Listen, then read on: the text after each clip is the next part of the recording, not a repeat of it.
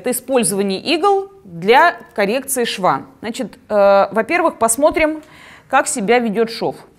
Умеет ли он растягиваться? Не особо, надо сказать, что вот ткань прям сопротивляется. Насколько он смещается? Ну, так, надо силу применять. То есть сам не хочет. Он, не могу сказать, что он жесткий. Вот он с какой-то фиксацией. Видно, я его смещаю, а он вот здесь вот где-то фиксирован. Она где-то вот здесь, под пальцами. Потому что я смещаю туда, и утяжка идет вот туда вот.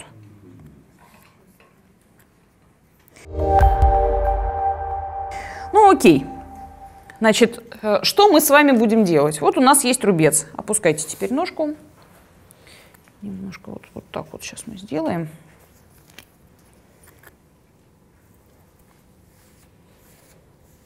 Дезинфицируем операционное поле. Значит, смотрите, э, что я буду делать? Я найду направление постановки игл в этот рубец. Обычно это по оси рубца. Значит, смотрю, первая игла сюда пойдет? Нет. Первая игла сюда пойдет? Да. То есть я начинаю э, использование игл отсюда и иглу буду... Да, я возьму здесь сороковку. А вторая пойдет, скорее всего, навстречу, или она пойдет от центра рубца туда же. Да, но это тоже будет по тесту.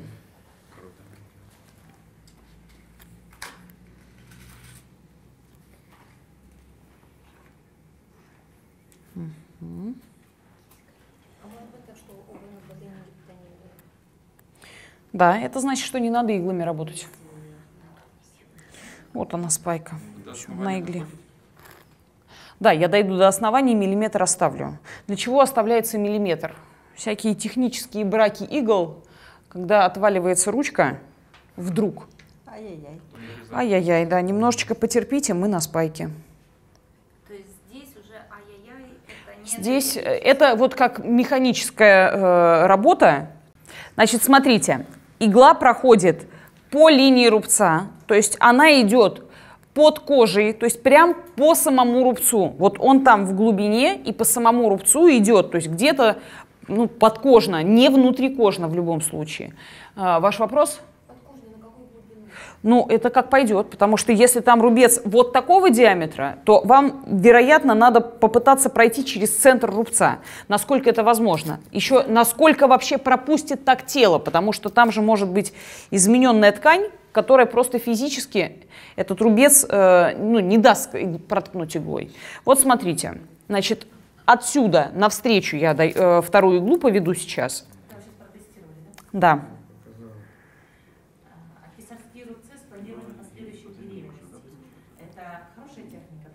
Да, да. Если дама не боится...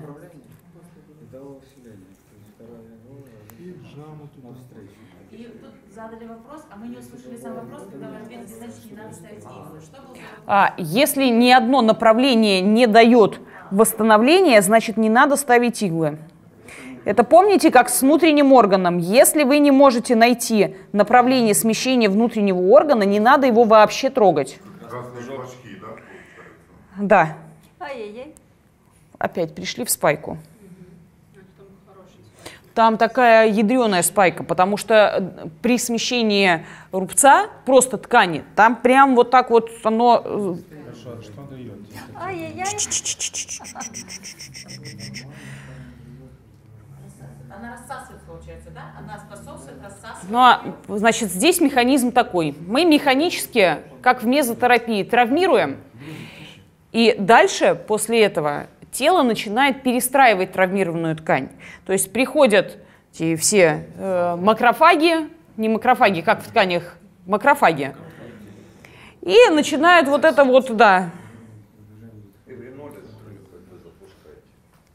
Я бы еще вот так вот иглами поделала, но это будет немножко по-садистски. Это на самом деле один из таких способов. Ну, давайте попробуем, насколько это будет терпимо. Как ощущение? Ну, чуть-чуть покалывает. Уже сильнее. Уже сильнее. Я изменила направление в спайку. То есть спайка там какая-то такая чувствительная. Ау. Длинные большие рубцы кесарева. А от бедра до бедра. Точно так же? Да, только единственный игл может быть побольше. И каждый ой, раз, ой, вот каждую иглу ищем по тесту направления. Ой, ой, ой, ой. Амплитуда совсем чуть-чуть, да? Да, но мы не мучаем пациента. То есть у нас нет задачи замучить до смерти, чтобы он больше никогда к нам не пришел. Значит, если вы можете видеть, ребят, прям очень шумно. Э, видно, да, что какой-то прям чувствительный. Если вот, вот так чувствительно, можно попробовать прокрутить иглу.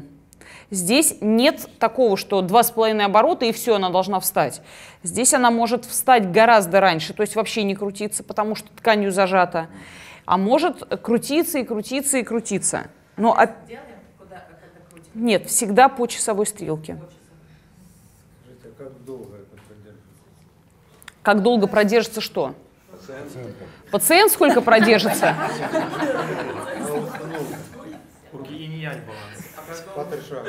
Но мы смотрим, то есть, во-первых, я жду, когда э, снизится тонус. Это будет показатель того, что все, иглы надо убирать, потому что это все-таки иглы.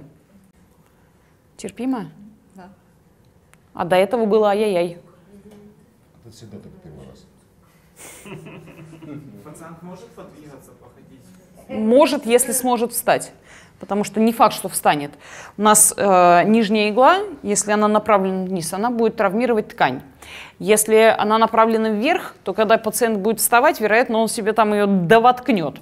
Вот, то есть лучше пусть лежит. А сколько мы таких процедур можем сделать э, согласно одному рубца? Ну, по надобности, то есть по-разному. Зависит от конкретного рубца.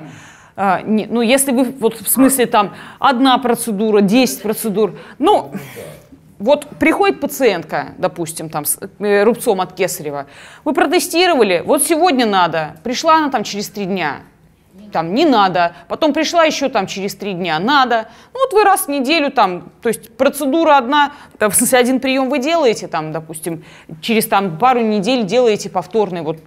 То есть это уже э, от конкретного... Нет, системы здесь такой вот прям, что вот столько-то раз нет. А когда ставим иголки, а когда ставим тейпы?